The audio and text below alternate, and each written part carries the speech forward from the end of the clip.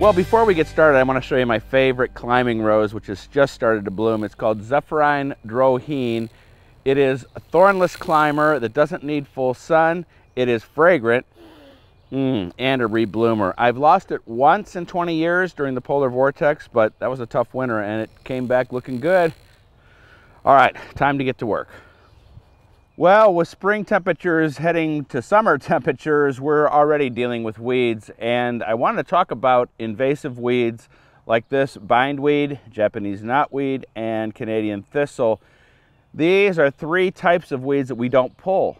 If you start getting in there and pulling, they have these white fleshy roots, you're gonna make more. And so all we do with these to combat them, and I've been combating this one for 20 years, is cut them off at the bottom and it's called continual top cutting. And so whenever we see one, we go all the way down to the base and just snip it off. And what happens is you'll uh, eventually exhaust the plant. The joke is either you'll exhaust the plant or it'll exhaust you.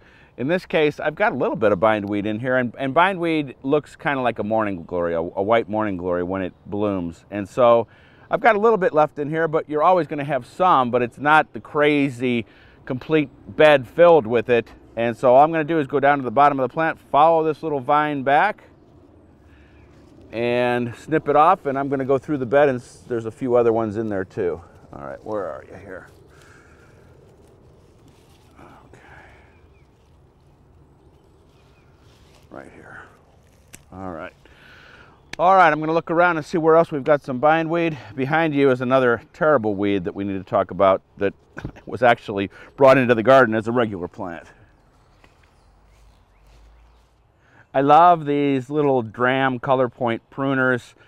One thing is the color, I can find them when I leave them out here. And the other thing is that locking mechanism stays closed when it's supposed to close and open when it's open. And you can see the vine is up here, but the actual starting point is all the way down here. And that's what we need to do is get all the way to the bottom, cut that off. This will just kind of dry out and I'll pull it off later. Now this guy here, oh, this is my favorite Japanese maple. It's been in for about three, four years, and the winter did it in. It is definitely sad, but that's gardening. We're gonna take this out and decide what we should put here. And I think it, for me, it might be another Japanese maple. All right, let's go look at that other invasive plant.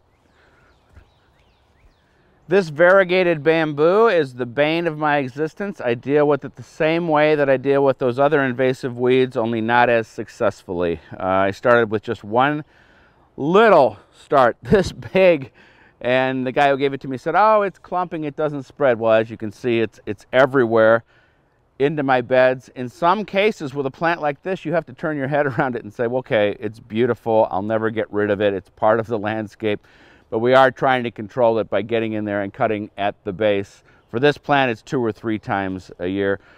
All right, more problems in the garden. Follow me to the vegetable garden. Come on, bud. Well, it was inevitable. Our first signs of rabbit damage were all fenced in, but they always figure a way in or out. And until I can find where they're coming in or out, I use this hot pepper wax. They make it in Greenville. And the cool thing about it is you can spray it on the plant but it's fine for us. We, we don't, you're not gonna get hot pepper when you harvest this. These are actually dandelion greens, and that's one of the favorite things that rabbits love. You see they've got into the dandelion greens, but they have not touched the lettuce yet. And we finally have a good job. Our last job of the day is to do a little harvesting already. We're early in the season, but we've got some stuff that overwintered, and we wanna talk about the right time to pick them, and I can't wait to have a salad later on with fresh stuff out of the garden. One of the reasons we garden is we want the freshest and best produce. And one of the reasons we start earlier is so that we can harvest at this time of the year. And we want to do this first thing in the morning when the plants are all filled with water. We don't want to do this at 3 o'clock in the afternoon and it's about 9.30 in the morning. These plants here will come back a couple more times, give us more lettuce. Now I've got other greens and some mustard greens that it over in the cold frame that I'm gonna harvest and that's gonna be our salad tonight and that is a good feeling. All right, let's finish up. Well, I'll tell you what, it's great to be harvesting out of the garden. And these are superhero spry marigolds that I started from seed. It's always exciting to see something that you started from seed and see it start to bloom. But I do see some slug damage already, so I'm gonna have to get some Sluggo, which is an organic slug bait, and get it on here because I do not want to lose my foliage.